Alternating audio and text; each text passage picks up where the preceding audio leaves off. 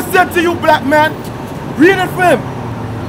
Who shall rise up for me against the evildoers? Who gonna stand up for God against the evildoers, brother? No. What we gonna read these curses, and I want you to tell me which nation of people these curses fall upon because he was speaking to the Israelites. That's a nation of people Moses was speaking to. So tell me who these curses fall upon in history. Give me the curses. Verse 48. Give me 32 first. Verse 32. Read. Thy sons and thy daughters shall be given unto another people. So God said, Your sons and your daughters shall be given unto another people. This happened where they, in slavery they took our sons and daughters and take them to other countries. You you see that in the movies. What's the name of the movie? Roots. Roots. You saw Roots?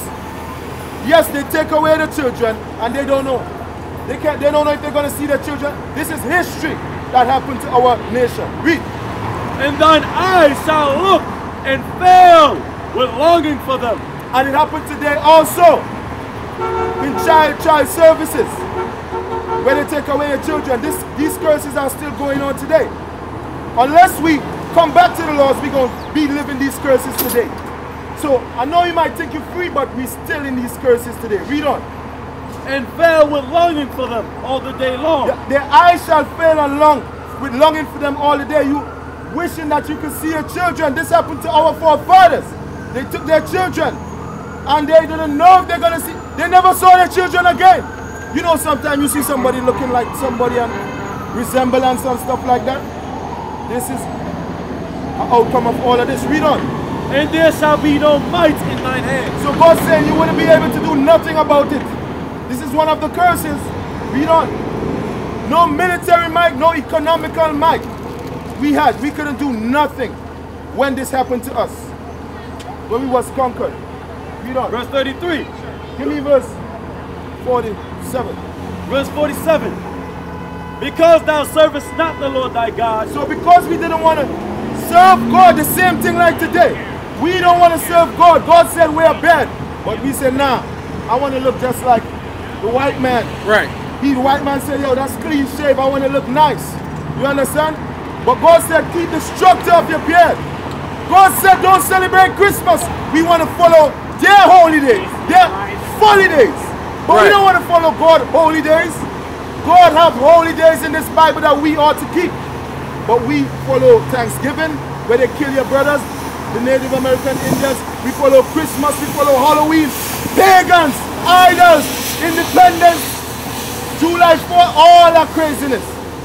You understand? God said don't celebrate that. All right, read on. Because thou serve not, servest not the Lord thy God with joyfulness and with gladness of heart.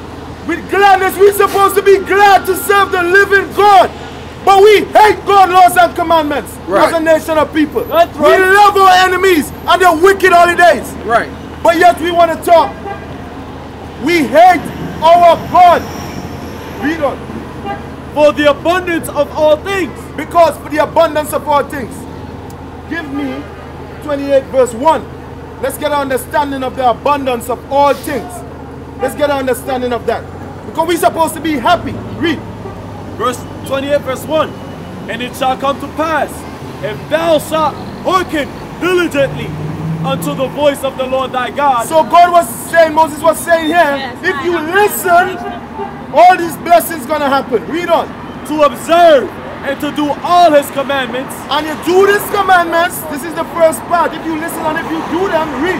Which I command thee this day, Look the abundance of all things coming up. Read. that the Lord thy God will set thee on high above all nations. Set us on high above all nations. Not below like we are today. Not equal with the ruling nations. Above them. Right. That's right. God created us to rule this earth, brother. Right. Because of our sins. We are in the lowest. In the communities where you see us, we in the ghetto, we in the slums. No matter where we, you go in Germany, England, the blacks, Hispanics, and Native Americans are the bottom in society. Right. So the abundance of all things is rulership on this earth. All right, go back to 48. Verse 48. Therefore, shalt thou serve thine enemies. So is God said, because you don't want to serve me, no, you're going to serve your enemies. Do you know who are your enemies? Huh? All right, man, that's it. Well, that's the number one enemy. But we're going to find out who are your enemies. You got to know all your enemies. Read on. which the Lord shall send against thee. What that just said. Read that again him. Therefore shalt thou serve thine enemies, which the Lord shall send against thee. Who sent our enemies against us? Who?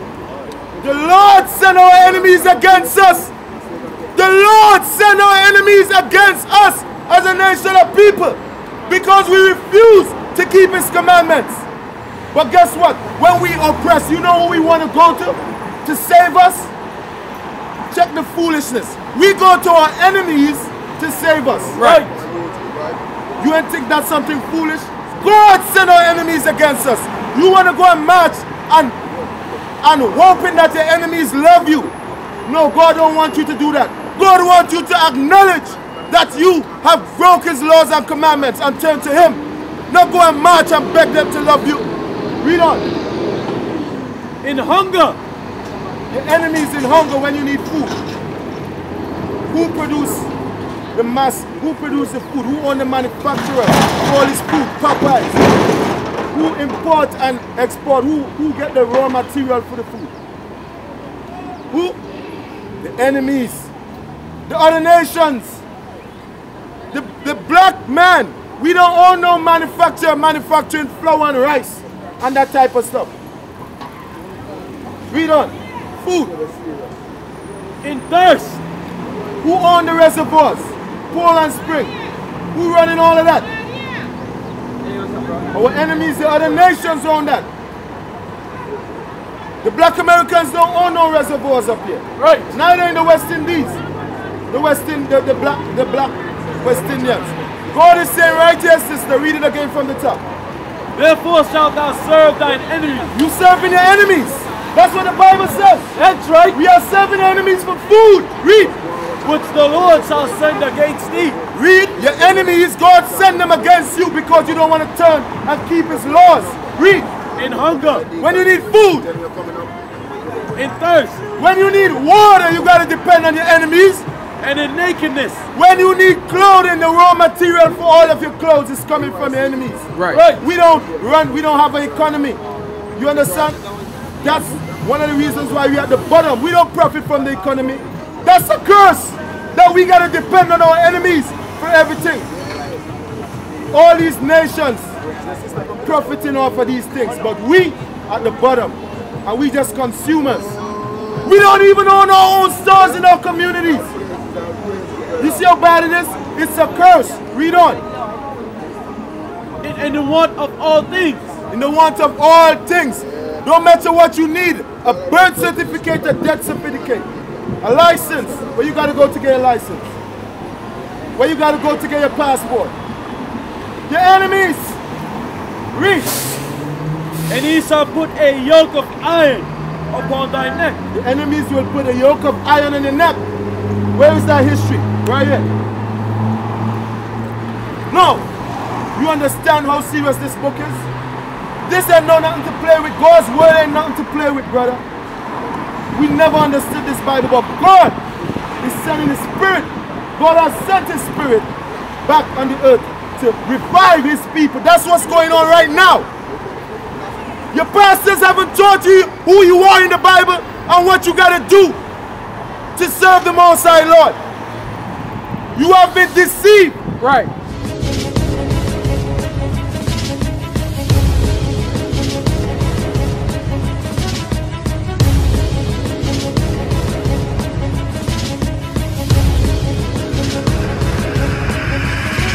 Shalom, Israel. I'm Elder Nathanyel, Israel United in Christ.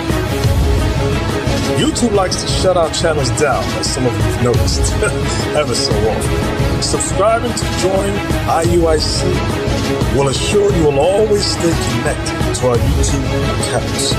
We want to do our best to make sure this truth gets out. Please click and join our subscriber YouTube channel called Join IUIC to stay linked to all of our videos. So again, please make sure you subscribe to this growing IUIC channel to get your latest updates on all our YouTube channels. Shalom.